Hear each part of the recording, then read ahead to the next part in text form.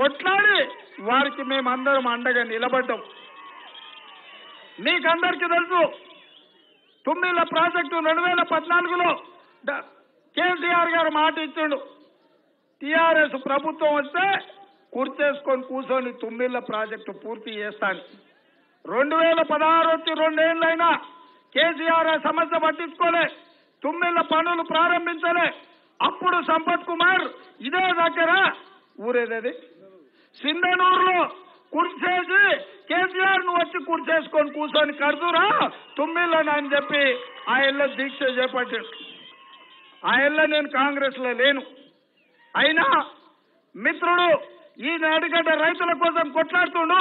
నడిగడ్డలో ప్రతి ఎకరాకు నీళ్ళు వారాలంటే ఆర్టీఎస్లో తుమ్మిళ్ళ కట్టాలి. ఒక మంచి సంకల్పంతో రైతుల కోసం కొట్లాడుతుండని ఆ ఎల్ల నేను వచ్చిన సుందిళ్ళ దగ్గరికి. ఆయన ఈ తుమ్మిల ప్రాజెక్టు కోసం సంపత్ కొట్లాటలో నేను ప్రత్యక్షంగా పాల్గొన్నా. ఆయన ఈ నడిగడ్డ ప్రజలకు అండగా నిలబడ్డా.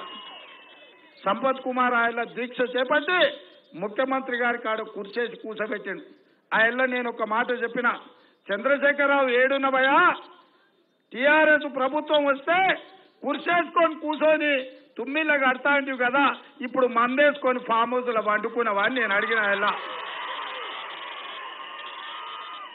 ఆ ఎల్ల ఈ నడిగడ్డ రైతుల కోసం చంద్రశేఖరరావు ఏడబండినావు నీ కోసం కుర్చేసినాం ఈ కుర్చీలో కూర్చొని తుమ్మిల కడుతురా? లేకపోతే మందేసుకొని ఫామ్ హౌస్లో అంతే బిడ్డ బండి కట్టుకొచ్చి ఈడ్చుకొస్తాం. అలంపూర్ అని చెప్పిన ఎలా దాంతో నీ తుమ్మిళ్ళ మంజూరైంది. టెండర్లు వాళ్ళే తీసుకురు.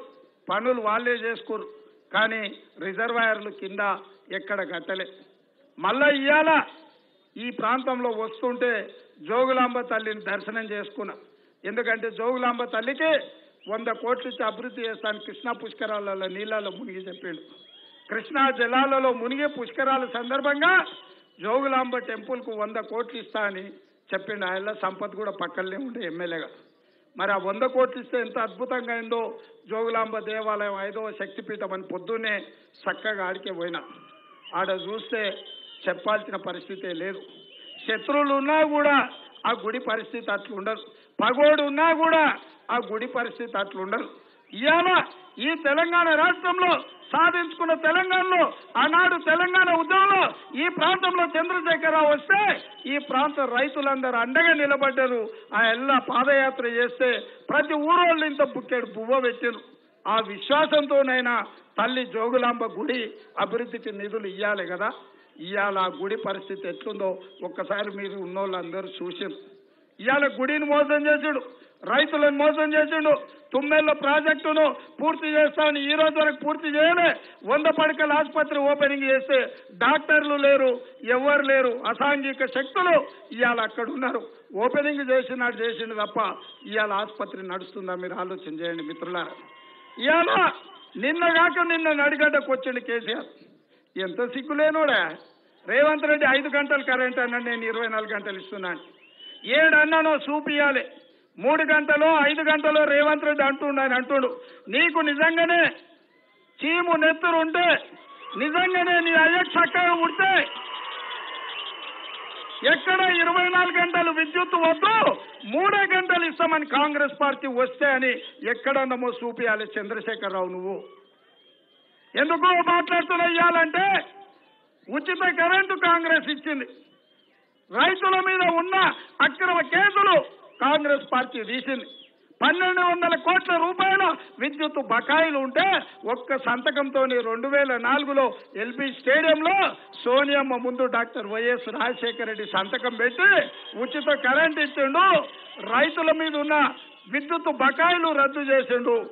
అక్రమ కేసులు తొలగించండు. ఉచిత విద్యుత్ పేటెంట్ మాది. ఉచిత విద్యుత్ ఆలోచన మాది. ఈ రైతులు బాగుపడాలంటే ఉచిత విద్యుత్ ఇయ్యాలని ఆలోచన చేసింది కాంగ్రెస్ పార్టీ ఇచ్చింది కాంగ్రెస్ పార్టీ. ఇవాళ ఇరవై నాలుగు గంటలు అంటున్నాను నేను అలంపూర్ బిడ్డల సాక్షిగా ఈ నడిగడ్డల్ని కూర్చుంటా ఎవడు టీఆర్ఎస్ తోడు రాండి ఏ సబ్ కైనా పోదాం. ఒకవేళ ఇరవై నాలుగు గంటల విద్యుత్ రైతులకు ఇచ్చుంటే నేను మా సంపత్ కుమార్ నామినేషన్లు వేయం. ఇక్కడ నుంచి ఇక్కడనే మేము ఇంటికి పోతాం. నేను సూటిగా సవాలు విసురుతున్న మిత్రుడు వెంకటరామరెడ్డికి నువ్వు వస్తావో నీ తీసేసిన తహసీల్దార్ అబ్రహాం వస్తాడు? లేకపోతే నువ్వు తెచ్చుకోబోయానికే ఇవాళ కొత్త ఆయన పేరు చెప్తున్నా. ఆయన పేరు ఏందో నాకు తెలియదు కానీ దొరగారి దొడ్లో గడిలో ఉండే బానిసల్ని తీసుకొని వస్తావా? లేకపోతే కేసీఆర్ను తెస్తావా? కేసీఆర్ను తెస్తావా? రా. సబ్ స్టేషన్ కాడ కూర్చున్నాం. ఇరవై నాలుగు గంటలు విద్యుత్తు టీఆర్ఎస్ ఒకవేళ ఇచ్చి ఉంటే ఈ ప్రాంత రైతులకు మేమిద్దరం నేను వేసిన నామినేషన్ వాపస్ తీసుకుంటా. మా మిత్రుడు నామినేషన్ వేయడు. నేను సూటిగా సవాలు విసురుతున్నాను ఒకవేళ విద్యుత్ ఇవ్వకపోతే మీరు సిగ్గుదప్పినోళ్ళు మీ నామినేషన్లు వాపస్ తీసుకోరు మాకు తెలుసు. కానీ నడిగడ్డ మీద ముక్కు నేలకు రాసి ఈ ప్రాంత రైతులకు క్షమాపణ చెప్పాలి. అదేవిధంగా ఇవాళ కర్ణాటక అడ్డం పడుతుంది కర్ణాటక అడ్డం పడుతుంది అంటుండు. నేను ఇవాళ కర్ణాటకలో మా ప్రభుత్వం ఉంది. ఆర్టీఎస్ నీళ్ళ సమస్య మీద కర్ణాటక ప్రభుత్వంతో ఉన్న పంచాయతీలన్నీ నేను తెలుస్తా డీకే శివకుమార్ నాకు మంచి మిత్రుడు సిద్ధరామయ్య గారు నాకు సిద్ధరామయ్య గారు నన్ను బాగా అభిమానిస్తాడు పెద్ద మనిషి ముఖ్యమంత్రి. మేము పోయి నేను సంపద పోయి కూర్చొని పక్క రాష్ట్రంలో కాంగ్రెస్ ప్రభుత్వం ఉంది. శాశ్వతంగా ఆర్డీఎస్ సమస్య కర్ణాటకతో తెంచే పూచి బాధ్యత మేమిద్దరం తీసుకుంటాం.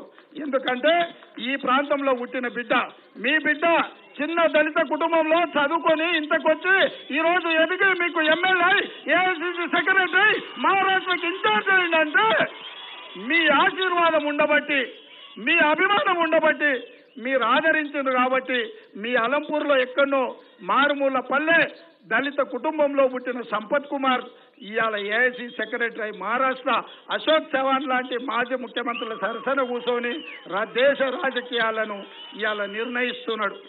మీరు ఆలోచన చేయండి సోదరులారా. ఆయన సంపద వద్దని అబ్రాహం తెచ్చిండు. మరి అలా అబ్రాహం కూడా వద్దు ఇంకొకరిని తెస్తా అంటుంది ఏందా ఈ కుట్ర? ఏంది ఈ కుట్ర? ఏంది కుట్ర? ఆయన అబ్రాహం తెచ్చింది నువ్వే కదా. మరి అప్పుడే అబ్రాహం చేదైపోయిండు కొత్త ఆయన మీకు ముద్దైపోయిందా? ఏంది పరిస్థితి? దేనికోసం పార్టీ మారిండు? ఆ మాత్రం ఎమ్మెల్సీ కాంగ్రెస్ పార్టీ ఇవ్వకపోతుండేనా మా మిత్రుడికి? మీ తాతలు మీ తండ్రులు ఈ కాంగ్రెస్ నుంచి మీ తాత నీలం సంజీవారెడ్డిని కాంగ్రెస్ పార్టీ రాష్ట్రపతిని చేసి ఈ దేశానికే ఒక గొప్ప నాయకుడిని చేసింది. నీ తండ్రిని కాంగ్రెస్ పార్టీ ఈ ప్రాంత ప్రజలు భుజాల మీద మోసి నాగేశ్వరరెడ్డి లాంటి వాళ్ళు పెద్దలు ఈ ప్రాంతంలో లక్షలాది మంది ప్రాంత ప్రజలు అండగా నిలబడి నీ తండ్రికి గొప్ప గౌరవం ఇచ్చింది Congress party. YS Rajasekhara Reddy garu ఉన్నప్పుడు నువ్వు చెప్పిందే శాసనమైంది. సంపత్ కుమార్కి ఇచ్చిన బీఫామ్ను కూడా మార్చి అబ్రాహంకి ఇచ్చిండ్రు.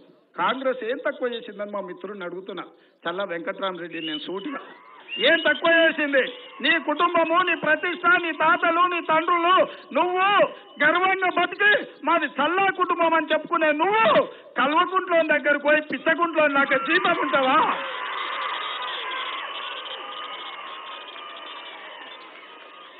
ఆ లఫ్ట్ లోపర్ దగ్గర పోయి జీతం కుదురుతావా? ఇది ఇజ్జతేనా నడిగడ్డ కని నేను అడుగుతున్నా మా మిత్రులే. ఇదేనా నడిగడ్డ పౌరుషం?